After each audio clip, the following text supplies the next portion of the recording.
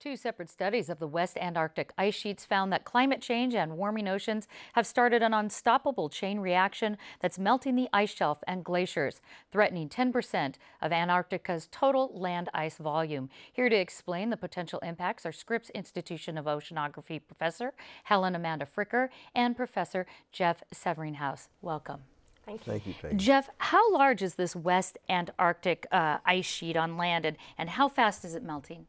It's a big, big piece of, of land surface. Uh, the part that's vulnerable is something like the size of Texas, and the, the rate at, at which Antarctic is currently uh, contributing to sea level is about half a millimeter a year. That's uh, 50 centimeters per century, or say about two feet per century. And, and is, is that faster than predicted? Because it sounds like a little amount.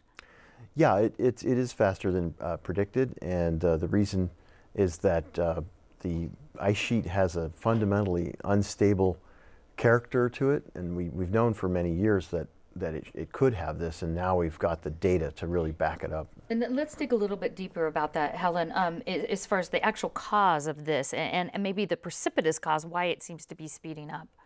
So the West Antarctic ice sheet is actually um, a marine ice sheet, which means that it's below, the ice is sitting, the bottom of the ice is sitting below sea level.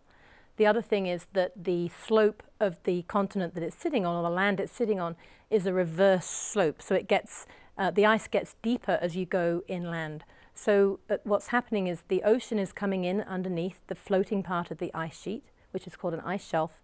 It's melting.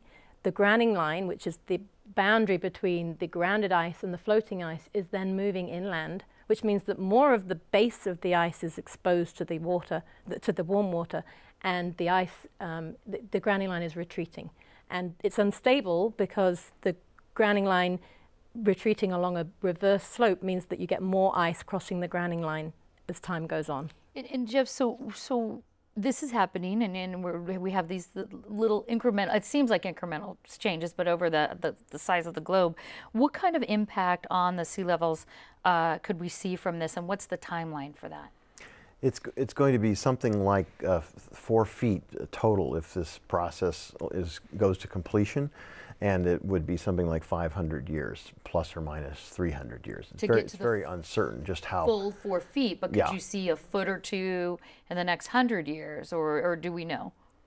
Um, we yeah we have a pretty good idea that it's it's not going to be a huge amount. It's it's you know it's just going to be a, you know a few centimeters by 2100, but it it, that'll add to other sources of melting ice, which means that we can expect about three feet of sea level rise by 2100. And, and, and, going with this, are there any immediate concerns that this this melting, as far as either on our climate or on ocean levels rising? No, this is a long-term thing. This is something for our great grandchildren, basically. Mm-hmm. Um, I also understand that. Uh, it, it's not uniform on the coastlines. It's this rising level. Um, do you know who's going to be hit the hardest?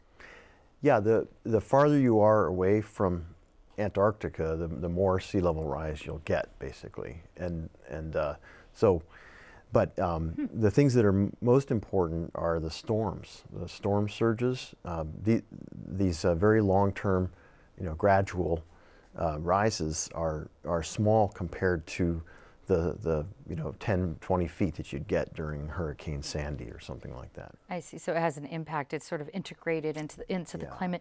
Um, helen this ice melting cycle it, it, everything i read about it everything i hear about it they keep calling it unstoppable. Why is it unstoppable?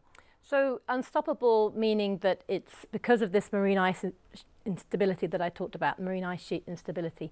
Um, it's kicked in now and it's a kind of a runaway um, process where because more and more ice is now coming into this, um, this to be exposed to the melting, it, you can't stop it because it's it's already grown to the out of um, it, it's it's a nonlinear process. It's a, so so basically it's uh, it, it, sounds to me like it's almost like adding water to the ice, not technically, which is going to melt the ice faster. Is that it, would that be an analogy? Sort of. You're you're exposing more of the base of the ice sheet to I the see. warm water coming in I underneath see. now, and that's not you. You can't. You can slow it down, but you mm-hmm. can't reverse it, which is why it's being called unstoppable. Um, but you, the other thing we can you slow it? We can slow it yes, and that's the key thing. We can slow it. I mean, we can definitely do something about the rate at which this is going to happen. Okay, and if I could just end on this very quickly, if there's one thing we could do to slow it, what could it be? Change policies so we can reduce uh, carbon dioxide emissions to the atmosphere would be my answer. And how about you? Do you agree with that? Yes, uh, like a, a carbon tax. A lot of economists say that the most efficient way to solve this problem is a carbon tax. Okay, and that's a whole nother discussion. You'll have to get on our website, kpbs.org. Helen Amanda Fricker and Jeff Severinghaus, thank you so much. Thank, Thank you, you. Peggy.